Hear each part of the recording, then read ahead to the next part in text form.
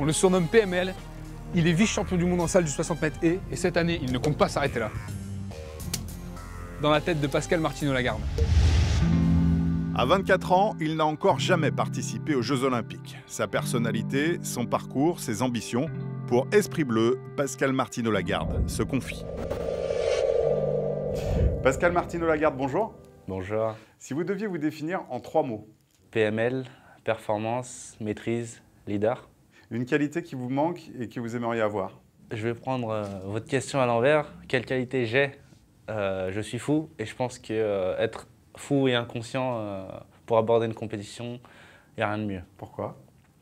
Parce qu'on a peur de rien, on fonce et on n'a pas de limite.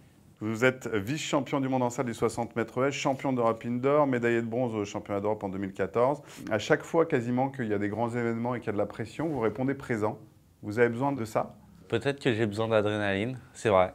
C'est pour ça que mes meilleures courses, je les ai toujours sorties en- dans des grandes compétitions où il y avait des grosses start lists. Et il faut que ça continue comme ça. Il y a une médaille qui vous manque, c'est la médaille olympique. C'est ce qui vous fait avancer au quotidien? Alors de plus, qui me manque la médaille olympique, je n'ai jamais décroché mon ticket pour aller aux Jeux olympiques. Donc la première étape, ce sera d'avoir les pieds sur place à Rio et ensuite on parlera de podium. Qu'est-ce qui a changé entre le Pascal Martino-Lagarde, champion du monde euh, junior en 2010, et euh, celui d'aujourd'hui? Je suis peut-être euh, plus, euh, plus agressif à, à l'attaque de mes compétitions. Par-dessus tout, je pense que j'ai gardé euh, ce grain de folie que j'avais jeune jusqu'à aujourd'hui. Et ça, il faut jamais que ça, ça di- disparaisse. Qu'est-ce qui fait la force, d'après vous, de Pascal Martino-Lagarde aujourd'hui? L'animal. C'est-à-dire? L'animal qui est en moi, que je déchaîne le jour de la compétition. Ça veut dire que vous êtes euh, un instinctif? Énormément, oui. Je pense que le, le sport est basé sur l'instinct.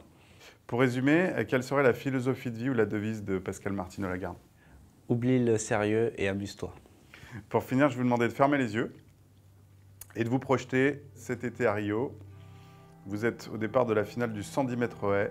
Décrivez-nous la scène. Je suis derrière les starting blocks. Le starter dit à vos marques, ou plutôt on your mark, set et euh, tir. J'essaye de partir très vite. J'arrive à la première haie, je passe. Il y a quatre appuis. J'essaye d'activer mon corps plus que jamais, sortir l'animal qui est en moi et ainsi euh, passer ces 10 barrières euh, sans les toucher.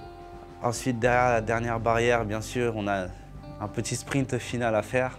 Et là, j'irai me jeter sur la ligne comme jamais, quitte à, à tomber après, quitte à, à y laisser mes ischios. Et comment ça se termine alors Alors mes rêves me disent que euh, ça se termine avec une Marseillaise, une médaille autour du cou et, euh, et un sourire à, à en jamais finir. Merci Pascal Martino-Lagarde. Merci.